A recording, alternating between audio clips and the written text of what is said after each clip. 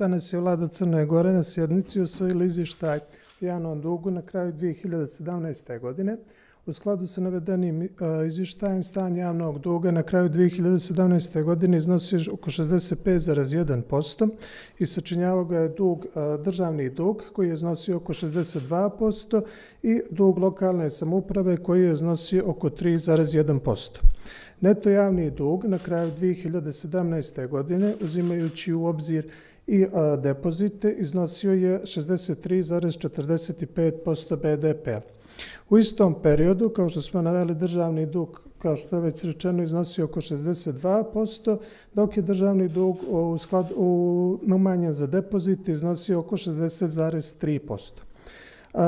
U spoljni dug se na, tokom 2017. godine najviše uvećao zbog povlačenje sredstava za kapitalne e, projekte u iznosu od oko 180 miliona, od čega je najviše prednačio povlačenje sredstava za kineski e, kredit, za, kine, za autoput po osnovu kineskog kredita, dokle takođe u ovom periodu e, zadužilo vlada se zadužila i za povećanje, za finansiranje budžeta u iznosu od oko 190 miliona eura. Što se tiče unutrašnjeg duga, unutrašnji dug se povećao za nekih 13 miliona eura i razlog zbog povećanja duga najviše zbog zaduženja za potrebe finansiranja budžeta.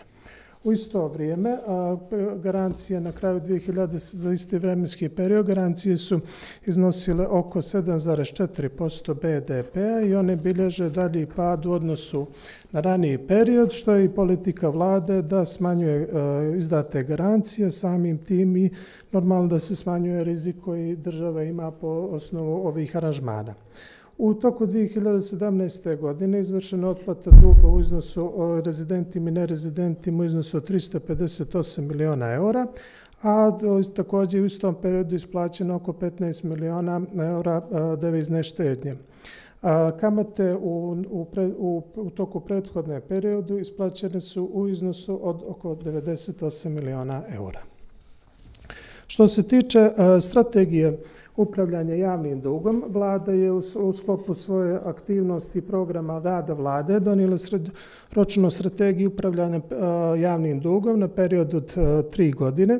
Osnova za donošenje ove strategije bile, predstavljale su mjere sanacije budžetskog deficita javnog duga za period 17-20, fiskalna strategija kao i program ekonomskih e, reformi za period 18. i 20. Također imajući u vidu i posljednje aktivnosti vlade vezano za rebalans budžeta, e, u, u strategiji obuhvatila također i zakon o budžetu za 18. godinu i rebalans budžeta za, za tekuću godinu. Strategija se pa, prvenstveno fokusira na smanjenje rizika, naročito rizika finansiranja, jer pa, je on postavljen kao najvažniji indikator ima prednost odnos, u odnosu na ostale indikatore rizika a, portfolija a, duga, kao što su prosječna ročnost, kamatne stope i valutni rizik. Smjernice po kojima, se, a, s kojima će se u budućem periodu a strategija i rad vlade upravljati jeste odnečavanje otplate duga po godinama, smanjenje rizika kroz upravljanje valutnim rizikom i rizikom kamatnih stopa, postepeni razvoj domaćeg tržišta hartija od vrijednosti i smanjenje troškova zaduživanja, uzimajući obzir e, naravno u sve ove prioritete, što će biti cilj da se napravi jedna ujednačena otplata duga i smanji rizik vlade, odnosno Ministarstva financija po osnovu refinansiranja. Strategija, kao što smo rekli, rađene, rad, rađene na trogodišnji, trogodišnji period od 18. do 20. godine i po e, projekcijama koje je Ministarstvo financija napravilo, uključujući rebalans budžeta i zaduženje koje je planirano zajedno e, sa Svetskom bankom, uz garanciju Svetske banke, e, projekcija je da će dug na kraju 2018. godine iznositi 70%, da bi se do 2020. godine spustilo ispod 60% i iznosio 59%3 BDP-a, što je i cilj i prioritet vlade da u narodnom trogodišnjem periodu smanji dug u okviru mastrihtskih kriterijuma i da on iznosi ispod 60%.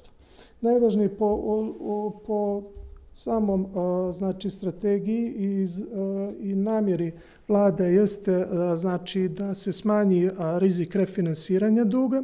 U tom dijelu Ministarstvo financija će preduzimati aktivnosti koje se već realizuje, to je zaključenje aranžmana za garanciju Svetske banke i proces refinansiranja bondova koji će dovesti do smanjenja obaveza u narednom trogodišnjem periodu po osnovu refinansiranja, što će dovesti do poboljšanja položaja Crne Gore na međunarodnom tržištu i smanjenja obaveza po ovom osnovu, što je jedan i od rizika koje stalno sugeriše, kojima, koje nam se sugeriše od strane međunarodnih institucija kao nešto što može biti određeni rizik za zemlju vezano za kreditni rating i sam položaj zemlje na tržištu.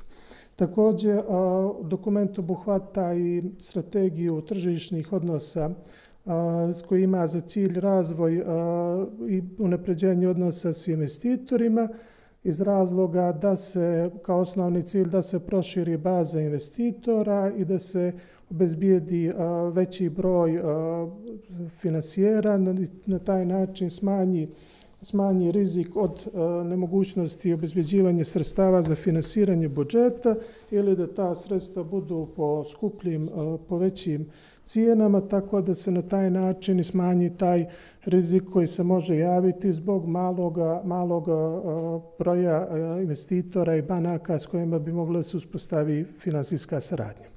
Zahvaljujem.